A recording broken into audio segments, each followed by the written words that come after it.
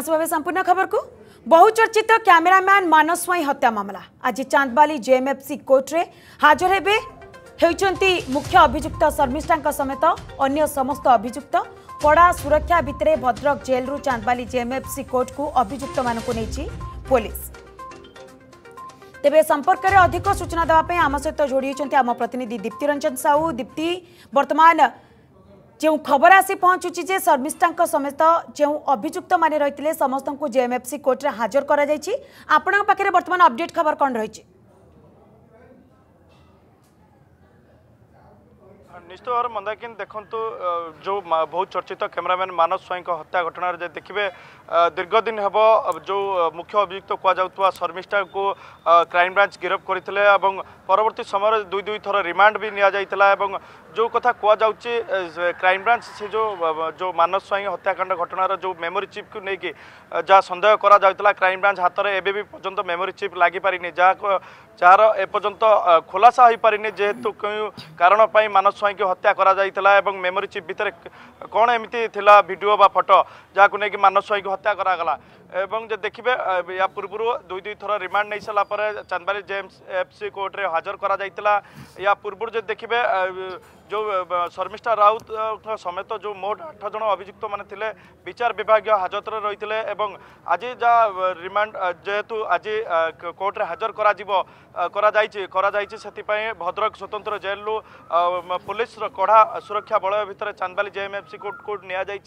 এবং তাঁকু সমস্ত অভিযুক্ত মানুষ হাজর করা যাই ଏଠି କଥା ରହୁଛି ଯେହେତୁ କ୍ରାଇମବ୍ରାଞ୍ଚ ଏହା ପୂର୍ବରୁ ମଧ୍ୟ ଯଦି ଦେଖିବେ ଆସ ଗତ ଷୋହଳ ତାରିଖ ଦିନ ବିବେକ ଏବଂ ଭାଗ୍ୟଧରକୁ ଦୀର୍ଘ ସାତ ଘଣ୍ଟା ଧରିକି ଜେରା କରାଯାଇଥିଲା କ୍ରାଇମ କ୍ରାଇମବ୍ରାଞ୍ଚର ତିନି ଜଣ ବରିଷ୍ଠ ଅଧିକାରୀ ଡିଏସ୍ପି ପାହ୍ୟାର ଅଧିକାରୀମାନେ ଜେରା କରିଥିଲେ ଏବଂ ବିଭିନ୍ନ ତଥ୍ୟକୁ ସେମାନେ ସଂଗ୍ରହ କରିଛନ୍ତି ଏବଂ ଯେଉଁ ମାନସ ସ୍ୱାଇଁକି ଯେଉଁ ହତ୍ୟା କରାଯାଇଥିବା କଥା କୁହାଯାଉଛି ଚାନ୍ଦବାଲି ଠାରୁ ଯେଉଁ ପଳାଶପୁରରୁ ଅପହରଣ କରାଯାଇଥିଲା ଦୟାଲ ଆଶ୍ରମରେ ରଖାଯାଇଥିଲା ନିର୍ଯାତନା ଦିଆଯାଇଥିଲା ଏବଂ ହତ୍ୟା କରାଯାଇ ପରେ ରଣପୁର ଅଞ୍ଚଳରେ ଯେତେବେଳେ ପୋତା ଯାଇଥିଲା ବଡି ବା ପ୍ରମାଣ ନଷ୍ଟ କରାଯାଇଥିଲା। ସମସ୍ତ ଯେଉଁମାନେ ଅଭିଯୁକ୍ତ ଥିଲେ ସେମାନଙ୍କୁ କ୍ରାଇମବ୍ରାଞ୍ଚ ଗିରଫ କରିପାରିଛି କି ନାହିଁ ତାକୁ ବି ମଧ୍ୟ ଖୋଳତାଡ଼ କରିଛି ଏବଂ ଏମାନେ କେଉଁ କେଉଁଥିରେ ସମ୍ପୃକ୍ତ ଥିଲେ ସମସ୍ତ କେଉଁଠି ନା କେଉଁଠି ଟେକ୍ନିକ୍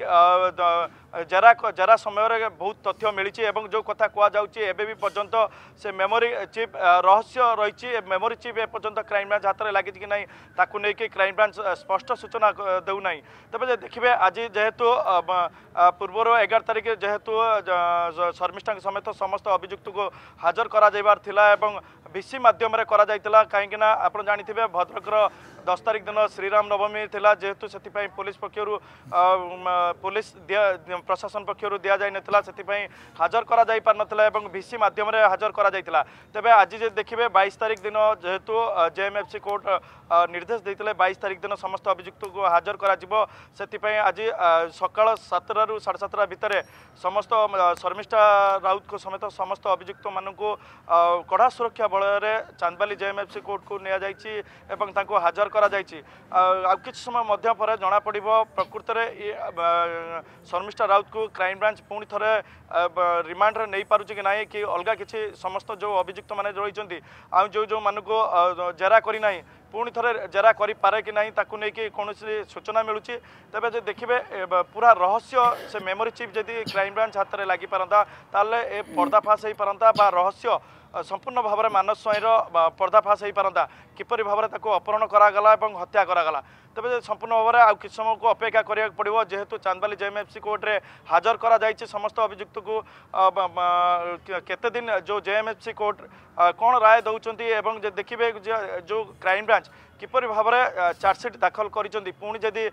ରିମାଣ୍ଡରେ ନେବେ କି ଅଭିଯୁକ୍ତମାନଙ୍କୁ ପୁଣି ଥରେ ଜି- ଜେରା କରିବେ ତାକୁ ନେଇକି କୌଣସି ଏପର୍ଯ୍ୟନ୍ତ ସୂଚନା ମିଳିନାହିଁ କିନ୍ତୁ ଆଉ କିଛି ସମୟ ମଧ୍ୟରେ ଅପେକ୍ଷା କରିବାକୁ ପଡ଼ିବ। କିଛି ସମୟ ପରେ ହିଁ ଅ, ନିଶ୍ଚିତ ଭାବରେ ସୂଚନା ମିଳିବ ଦୀପ୍ତିରଞ୍ଜନ ଆଉ କିଛି ଅ, ସମୟ ପରେ ହିଁ କ୍ରାଇମବ୍ରାଞ୍ଚ ଜଣାପଡ଼ିବ ଯେ ପ୍ରକୃତରେ ଜେଏମ୍ଏଫ୍ସି କୋର୍ଟ କ'ଣ ଶୁଣାଣି କରୁଛନ୍ତି ତା ଉପରେ ପୁରାପୁରି ନଜର ରଖିଥାନ୍ତୁ। ଦୀପ୍ତିରଞ୍ଜନ ବହୁତ ବହୁତ ଧନ୍ୟବାଦ ଆପଣଙ୍କର ତମାମ ସୂଚନା ପାଇଁ।